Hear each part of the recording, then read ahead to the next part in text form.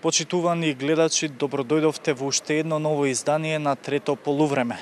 Во пресрет на Final Four турнирот во Будимпешта, каде македонскиот првак Вардар веќе трета година поред успеа да обезбеди учество на завршниот турнир меѓу најдобрите четири екипи во ракометната женска лига на шампиони, во оваа емисија одлучивме да ја доловиме одблиску атмосферата која владее во тимот на црвено-црните ракометарки. За тоа што предстои, односно првата препрека Букурешт, ќе разговараме со тренерот на екипата Индира Кастратовиќ, председателот на клубот Гордана Нацева, како и ракометарката Андреја Пенесиќ.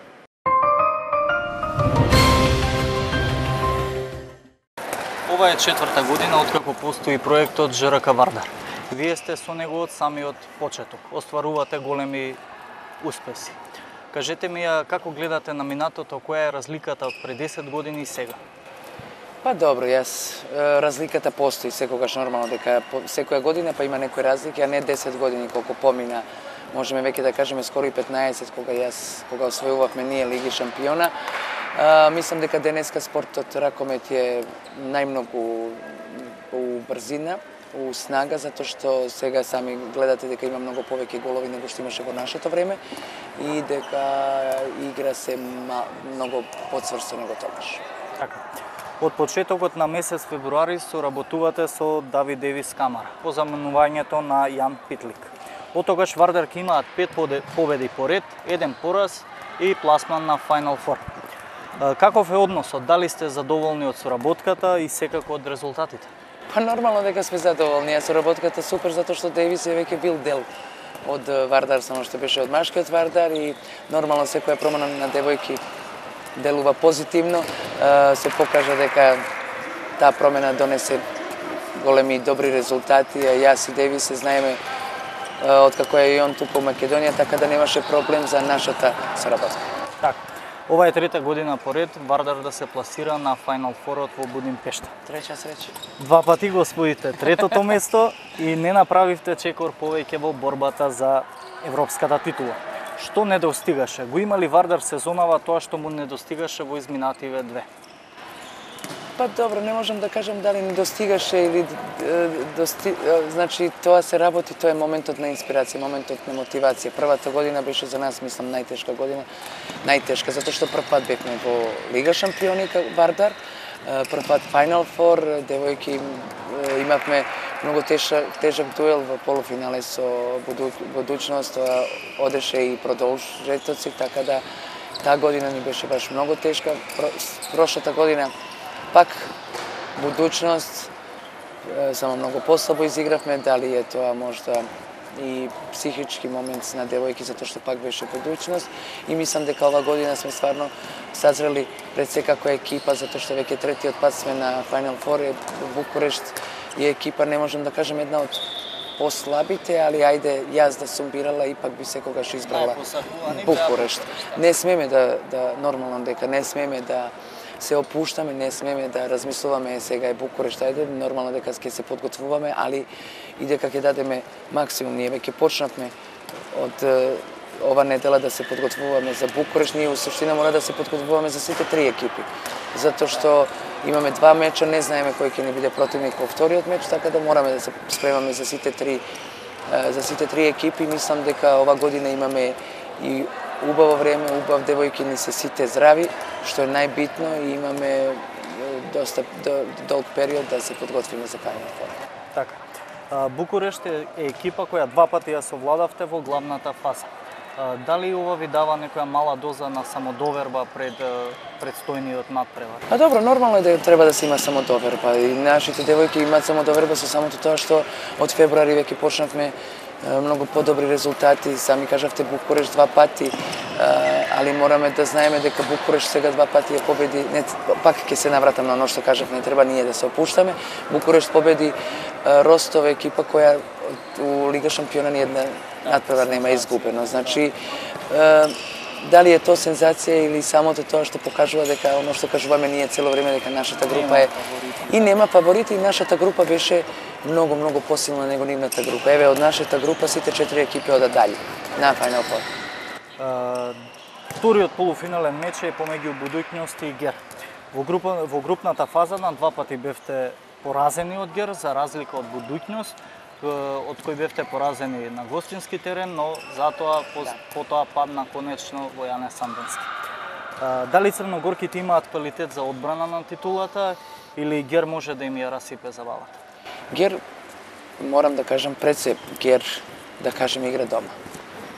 Не игра у Гер, али игра у Будимпешта и мислам дека они се најмногу, они имаат можда 10% се фаворизирана екипа пред, се затоа што игра дома, а друго Гер ова сезона игра се подобро и тоа подобро и им се вратија играчи кои им беа повредени и мислам дека на будучност исклучително тежок надпревар ќе биде затоа што они е, имат е, играчи, да кажам 6-7 кои им играат цело време и тоа е голем притисок и за нив и за тренерот кој нема адекватна замена, а Джер е, им, Джер е екипа која има перфектна клупа која има 16 играчи каде може да ја калкулира у ток цел надпревар. Така, доколку Вардар успеете да го помине Букурешт, кого повеќе посекувате за противник? Ова мора да го одговори. Мора да го одговорам. Па, јас, ово не е сега така да, али стварно сме сега фокусирани најмногу на Букурешт. Значи, мораме да пред се да размислуваме на Букурешт, а после тоа, не знам, значи, ајде, кого сакам или кого би посакувала? Да, и зошто? а и зошто има? Така е. Па будуćност, ајде да кажеме бу- будуćност, затоа што ја победивме дома и мислам дека тамо ќе бидеме двете екипи, нема да има никој некоја голема подршка нема ни дома, него играме на страна и мислам дека би ту могло да се одигра онака баш квалитетно и мислам дека девојки се сега спремни да ако треба у финале да победиме будуćност. Така. А, за крај, може ли да се повтори успехот на Кометал Ѓорче Петров од 2002-та, кога ние ја поделивте најголемата радост европската титула? Дали ова е всушност вашата најголема желба како тренер да го достигнете тоа што го постигнавте како играч? А, тоа е нормално, на секој тренер е голема желба да биде европски шампион, нормално е. Јас то достигнав како играч и сега најголема желба у тренерска работа ми е да станам европски шампион и да направим голем успех не само за нас, него како што кажавте и за цела Македонија. Јас после надпревар кога се квалификувавме на Final Four, една моја добра пријателка ми напиша порака. Се надевам дека ова година Од сето ово црнило вие ќе ни донесете злато во Скопје. Значи тоа се моменти каде и луѓето сите сакат нешто убаво да им се дешава. Гледаме што е тука малци притисок и ние сме им, ете да кажем, нешто што уживаат и нешто што може да се радуваат со нас. Така, ви благодарам Индира за одвоеното Благодарам време. и на вас. Ви посакувам голем успех, ете трета среќа Дај Боже. да ја донесете европската куна. Да даде Господ. Фала. Фала и на вас. Како председател на клубот, како гледате на предизвикот во полуфиналето? Може ли Вардар по трет пат сезонава да го совлада Букурешт, откако два пати бевме сведоци како падна истиот противник? Добар ден, поздрав до вашите гледачи. А, трет Final Four и трето учество на, на Вардар, на женскиот тим на Вардар, за мене тоа и за сите нас во клубот е извонреден успех и остварува и на целта која зацртавме во стартот. За противника, како што рековте, го имаме а, тимот на Букурешт, кој а, едно пријатно изненадување оваа година во а, рамките на Лигата на шампиони. Еден а, романски проект кој еве се покажа како прилично успешен, вклучително и а, ги следи резултатите и на нивната репрезентација што ги постигна постигнаа во, во Данска. А, Точно играме трет пат и практично и најважниот напер со нив во, во оваа сезона. А, јас не сакам да кажам како што тие најавуваа кога доаѓаа во Скопје дека доаѓаа да не победат. Ние сме тим кој треба тоа да го покаже на терен, а не на, на зборови. Значи, ние очекуваме да се подготвиме добро, ги респектираме нив. Тие нема што да изгубат, нив, тоа е нивен прв настап на, на, во Final Four и за секој тим кој прв, настап, прв пат настапува на Final Four, ништо не е трагично и да, да не се пласира во, во финале. За нас ќе чувствувам дека ќе биде малку мал, мало разочарување, меѓутоа не сакам да мислам на тоа, ние во клубот се фокусираме на, Буду, на Букурешт и пласман во, во финалето. Како тоа ќе го направиме? Останува да го спроведа, да ја спроведа стратегијата тренерите и играчите. Мислам дека уште кога беше жребот, ние не сме незадоволни. Со сиот респект кон Букуреш, меѓутоа од сите потенцијални три противника, Најпосакуван. да би рекла најсоодветен за нас. Ако ако будучност е актуелен европски првак, ако Гер е тимот кој има одлична форма и е домакин практично од земјата домакин е а, таму, е сега третиот ви се паѓа кој нема тие, да речам, а, а, атрибути, сега не треба да биде човек незадоволен, меѓутоа треба да е реален и да го одработи тоа на 7 мај во, во Будимпешта. Секако од Гер оваа сезона два пати имаме изгубено. Будучност конечно во Јане Сандански падна, иако предходно имавме пораска нив, Така. а Букуреш два пати сега секако има таа доза на самодоверба Да, во како право сте. фаворити на хартија да се рече. Во, во право сте тие во една изјава прочитав дека шансите ги сведуваат на 50-50 и нека биде така. Така. Во ракомет на Европа а, малку поголем фаворит во тој дуел е Вардар, секако. Меѓутоа пак ќе речам, а, нема да дојдат самото тоа што се порелаксирани во однос на нас, бидејќи ние го посакуваме финалето веќе трета година, самиот факт што во одреден, да речам, спортски, а, спортско размислување постои една доза релаксираност кајнот во, во однос на нас, сметам дека мож, може би ќе го извлече максимумот од нив. Меѓутоа пак ќе кажам, шансата која ја има Вардар оваа година како противник Букурешт со еден позитивен скор во предходните надпревари во рамките на Лигата на шампионите ни дава за право да речам дека дека шансите и вратата за финалето ја подотвор... ни се подотворени. И ако сме доволно мудри, ако не прати среќата, ако ја го одржиме нивото на игра која го имаме, посебно во втората, втората фаза во, во Лигата на шампиони, јас не се плашам од ниту еден противник, меѓутоа не сакам да звучам премногу сигурно и подценувачки кон противникот, меѓутоа пак ќе речам, во спортот треба да се биде реален, од, во врвните надпревари одлучуваат, одлучува, уклучуваат ситни работи и моментална инспирација. Така. Ке доживели Вардар длабок рез во играчкиот кадар доколку сезонава не успеете да освои европската титула. Ке се намали ли буџетот на тимот? А, ние не размислуваме во тој правец. Резултатот од од Будимпешта нема да се рефлектира на плановите кои ги има клубот за наредната година. Напротив, ние е, сметам дека го објавивме тоа и дека сте запознаени дека е, ние го имаме веќе составот и за наредната година со подпишани договори со едни сосема солидни играчи кои доаѓаат и не се придржуваат на клубот од е, е, јуни. Значи, веќе тимот е испланиран за наредната сезона, независно што ќе се случува во Будимпешта и буџетот е испланиран. Така да, она што ќе се случува во Будимпешта нема да се рефлектира во делот на прашањата кои ги поставивте. Дали ги следите младите категории? Во иднина ќе им се дава ли поголема шанса? Се кројат ли ете планови за новата сезона од помладокот да, на Вардар? Да. Многу ми е драго што можеме да позборуваме за ова и, и токму на, во периодот кога збориме за Final Four, е добро да се спомене и да не ги заборавиме младите категории. Вардар е тим кој, кој, ги, кој е создаден за големи резултати, меѓутоа Вардар е тим кој знае дека доколку нема добра основа во јуниорските тимови, нема да има а, долга и голема и добра перспектива. Се обидуваме условите што ги имаме за првиот тим да ги а, пресликаме и во помладите категории.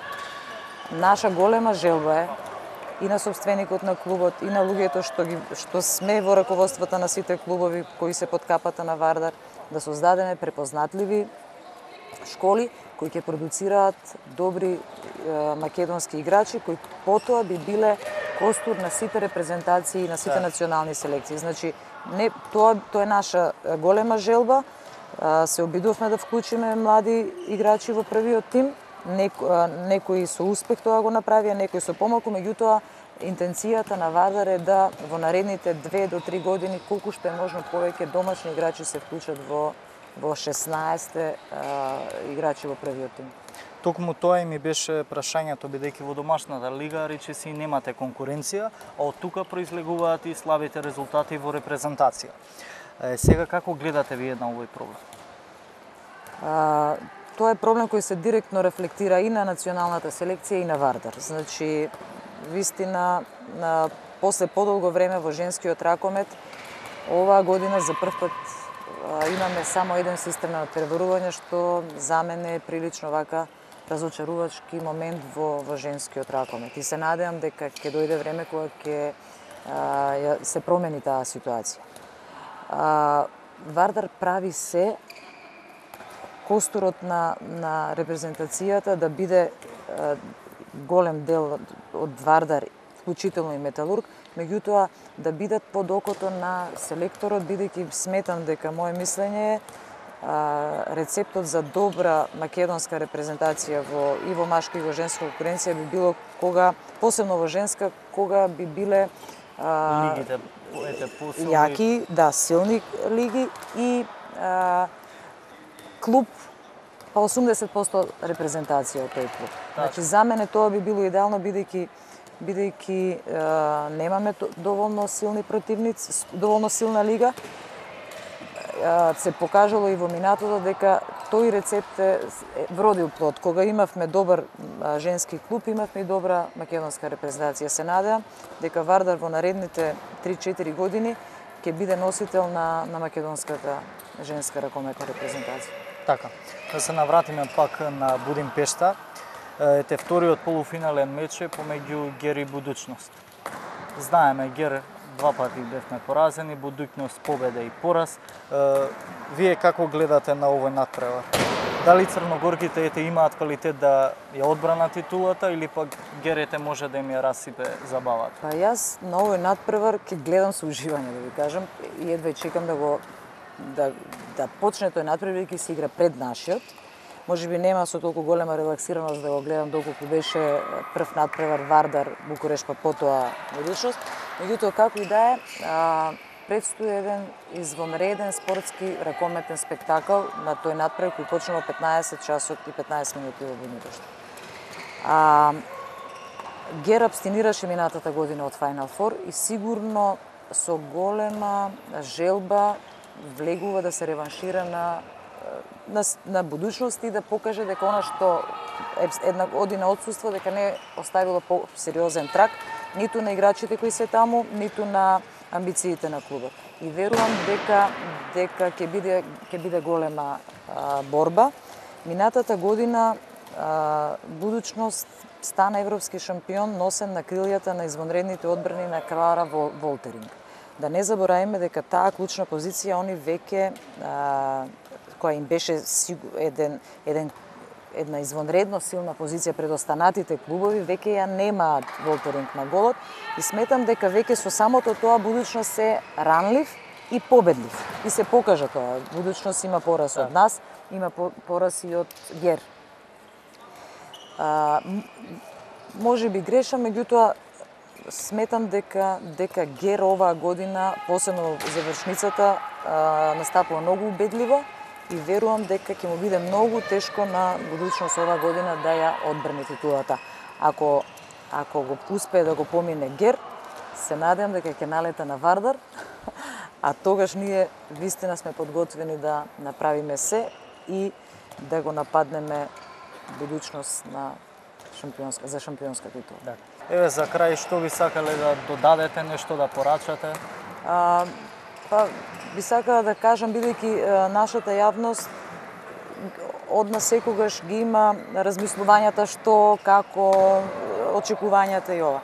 Би сакала да кажам дека Вардар учествува на едно извонредно, еден извонреден спортски спектакл, каде што се представува и клубот, и градот, и државата. Значи, треба да бидеме горди дека еден наш представник е дел од таа извонредна, спектакуларна спортска манифестација. И би сакала да кажам на гледачи дека тоа е се што е некои биле, некои може би ќе дојдат во Будимпешта, ги повикувам да дојдат бидејќи ќе му треба подршка на, на, на Вардар. Меѓутоа би, би кажала дека е едно извонредно организирано надпреварување. Играч се знае кога имаат а, прес, се знае кога е тренингот, каде тренираат, колку минути а, на тренингот треба да може да дојдат екипи за снимање. Обврзани сме одредени екипи од ЕКФ да влезат и да ја снимаат со облекувалната. Се е испланирано до до посебни до, до посебна ситница и сметам дека она што значи Final Four значи а, а, усовршување на женскиот ракомет и приближување на женскиот ракомет кон кон машкиот, односно она што значи Final Four во Келн, кој за мене е еден светски ракометен спектакл, подобро од тоа немам видено во, во, во ракомет. Тоа е една работа што сакам да кажам, втора работа е а, ги повикувам нашите гледачи доколку се во можност да дојдат во Будимпешта и да, да ја дадат подршката на Вардар. Знам дека минатата година ги разочаравме, меѓутоа беа едни едни а, објективни околности кои се случува таму ќе се сетите во кој период игравме и што се случуваше во тој период кај нас.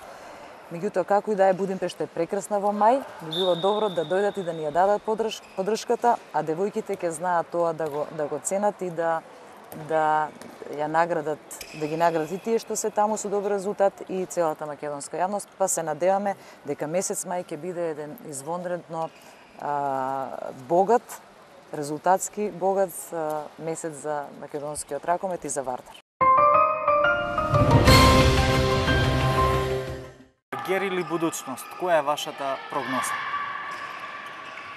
Pa, već sam rekla, mislim da svi imaju podjednake šanse za ulazak u e, finale. I Jerry i budućnost su e, iskusni timovi, tako da ovaj, e, bit će stvarno neizvjesno.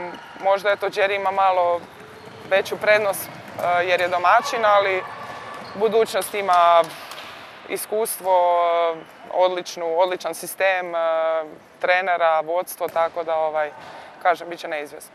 Tako. Što bi im poračale na naši te gledači?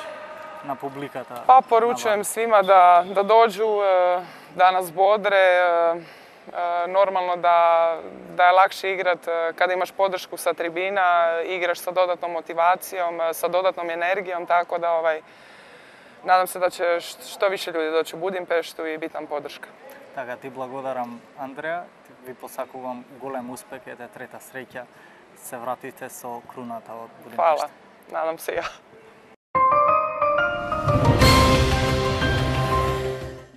Почитувани, ова беше се што ви подготвивме во ова издание на трето полувреме.